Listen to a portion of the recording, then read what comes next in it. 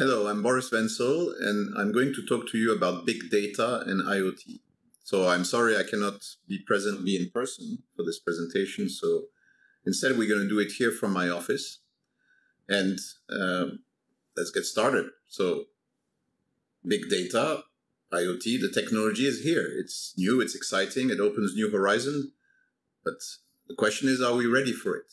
So what I'm going to do is I'm going to take you through a fast trip to discover how big data is and will impact our industry in a very big way, as you will see. And you'll discover how challenging it is for us to drive change, uh, to take us into the future thanks to these new technologies, but also all the promises that are held with it. So now let's get started. And I'm going to tell you a bit more about myself. So I'm Boris Wenzel. Uh, I'm the managing director of Terminal Link, Terminal Link is a joint venture between CMA CGM Group from France and China Merchant Port Holdings. Terminal Link operates 21 terminals today, soon 23, uh, representing about 25 million TEU of uh, throughput. We are present in 16 countries. Uh, so it makes us uh, one of the leading port operators in, in the world. Besides that, I'm also the president of TIC 4.0. TIC 4.0, which stands for Terminal Industry Committee 4.0, is an association we have created last year to, to promote and elaborate the definition of standards for our industry. These standards are important because they are the key for our, industry to fully embrace the benefits of the fourth industrial revolution. And besides that, uh, as Terminal Link and uh, uh, through our association TIC, we are the sponsor of a European project called iTerminals 4.0.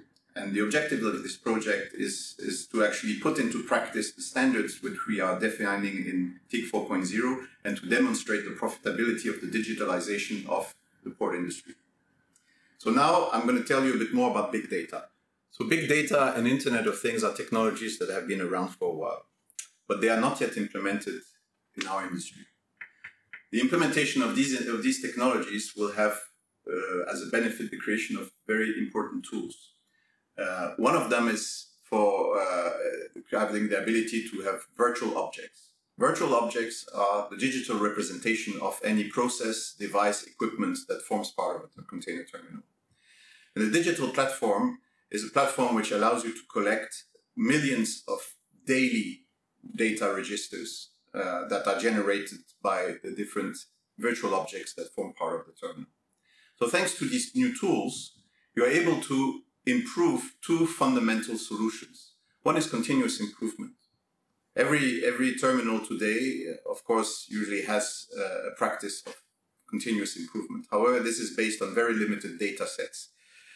Continuous improvement based on the new level which is created by, by big data and Internet of Things allows you to actually go much deeper into the improvement of your processes, optimizing uh, your productivity, your cost, for example. And the second benefit is on process automation. Because once you have digitized everything in the terminal, you are able to operate a much smoother transition towards automation. And now I will show you a practical application in the container terminal of big data and IoT technology. So this is IoT and big data in a terminal environment. And what does this theory mean in a container terminal environment? Well, there are three levels of data. The first level, which is in the first column, is the raw data. IoT could collect an unlimited amount of data from the machines. In our case, the most relevant signals are collected every second. The big data tools can manage, aggregate, and represent this huge amount of information in a very simple way. We can group the data per time, per device, per time and device, per sensor, all of that just in real time, and we can also aggregate all of them in real time as well. The second level of data, which is also in the second column, is move data. The basic unit of our business is the move. So the minimum representation of any KPIs for our business should be by move. We can use the raw data to create hundreds of KPIs per move, adding also lots of metadata to link different move registers such as machine, driver, vessel visit, container number, etc. And the third uh, uh, level of data is the global KPI. This is high level global KPIs. The granular per move KPIs allow us to aggregate the information in a way, but not only. The relationship between them, thanks to the added metadata, let us create new high level KPIs, such as a global efficiency measurement for the terminal or a bottleneck efficiency that otherwise would be impossible to calculate. The most exciting aspect of this powerful tool is that it allows us to see a huge amount of data in real time. It can be a few minutes of aggregation, so like near real time, from anything from that to days, months, weeks, or even years, all in the same tool. And most importantly, is the actualization will also be represented on the same dashboard in real time. In fact, all these concepts and features I have been talking about, this is not a theory. In fact, it's a reality at our Malta Freeport Terminal facility, which is a major transshipment hub in the Mediterranean Sea. Thanks to the IoT technology, real-time data with a latency of about two seconds for raw data and eight seconds for fusion data, almost all the equipment on the terminal. All the data is then stored without limit thanks to big data technology on the digital platform. So now the raw data is very easily accessible. In fact, it's much more easily accessible than on a classical database. Move data, status, spreader, hoist, trolley, engines, timers, hundreds of timers actually, power, energy, almost any single interesting value is available. The business intelligence tool allows us to represent the raw data in a graphical friendly way across time and or bucket per any metadata you can think of. Working, driving, idle status, any timers you want, eco-consumption status, loads, any kind of counters like moves, boxes, cycles, cost. The dashboards regroup all these visualizations on one page. So you can see all this data together, harmonized and synchronized in real time. Now the data is available and ready to use for any service, such as a CloudTOS, which you can deploy then at minimal cost. Smart plugins can then also be used and enhanced with real data at, with a minimum effort.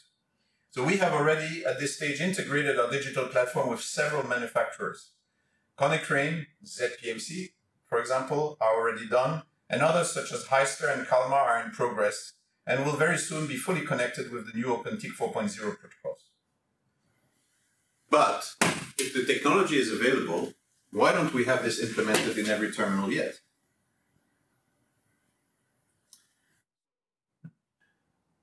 Well, the translation of the reality into numbers is not so easy. All the devices must speak exactly the same language, and the reality itself is not, so complex that you need a very complex and sophisticated language to represent it. The idea is simple. Humans and virtual objects need to speak a language that is they both understand. A language as complex and as complete as the human language, but that can be at the same time understood by the humans and machines. The combination of different attributes of data, such as the header, the concept, must strictly define the value it represents without any ambiguity. And this is the job we're doing at our TIC 4.0 association. So now we're using two kind of register. The instantaneous register that represents a snapshot of reality and the closed register that represents a reality during a period of time. Today, the instantaneous register has more than 200 attributes, and very soon it will be 400. The closed register has more than 500, and very soon it will be more than 1000. The reality requires a lot of data to be presented properly. This adds a lot of complexity to the end user if you really want to translate the reality into a digital format. To monitor a terminal, you need a lot of IoT devices that each will send millions of messages with hundreds of data attributes per message every second. A very powerful platform is therefore required to process all this data in real time. The only way to compute such huge amount of information is with multiple nodes, meaning computers working together. Even when all the information is already processed, achieving a human-friendly representation of all this huge amount of data is really a challenge for most people. Every single dashboard not only represents single KPIs, but also group KPIs, such as per concept, machine, driver, vessel, etc. Also tendencies, statistics, heat maps, rankings, etc. It is great because this gives you all the visibility of the concept across the equipment's operation, time and place, but at the same time, it requires another level of understanding than we are used to. So IoT and big data are key elements to improve efficiency, but not only.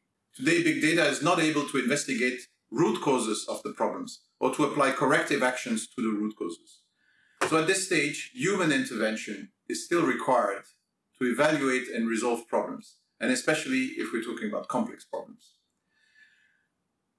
So big data makes especially sense for the resolution of complex problems because complex problems have complex root causes. And complex root causes have a lot of dependencies on other factors, which the human cannot mitigate. So the reality is complex.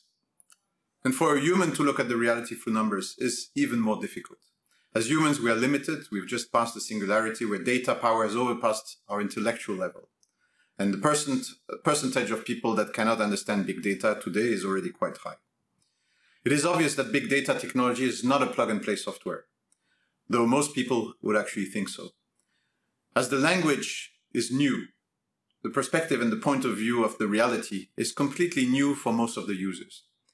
Managers in the container business will have to learn how to read and write in a completely new language in order to make, take the full advantage of these tools.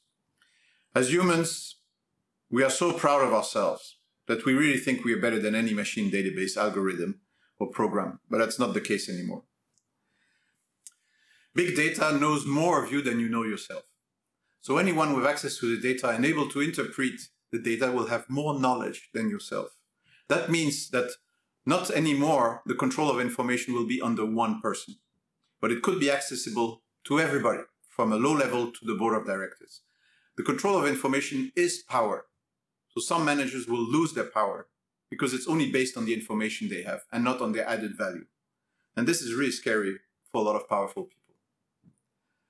Now, data is also not just a, a solution. It is just a tool. The only direct benefit of big data is the pressure it creates over everybody that data, there is data that registers and measures everything they do or their performance. Because when we feel we are observed, we try to do our best. But to get other benefits, we need to take actions. And big data is itself is not going to resolve the problems. So, in conclusion, the questions are Are we going to be able to transform our industry with all the difficulty it faces and all the resistance we are going to encounter? And is it all worth the effort and investment? Well, the answer is it's up to you. But if your competitors make use of these new tools and you don't, then the question is will you remain competitive? So thank you very much. And I will be happy to take questions that you can send to me by email. You have my details on the last slide of this presentation. Thank you.